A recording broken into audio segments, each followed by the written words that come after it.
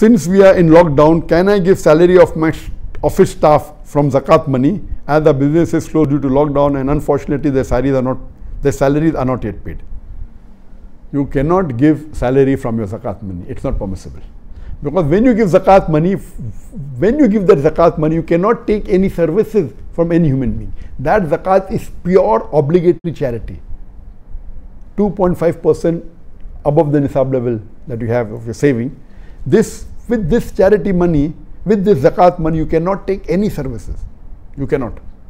So if you have not paid salary, that's the different issue.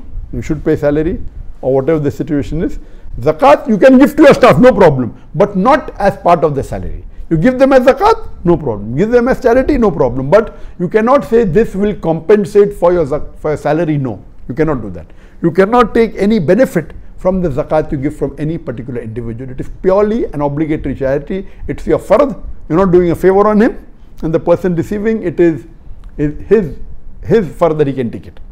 So it cannot be part of the salary, but you can give zakat to your staff very well, but don't give it as part of your part of his salary.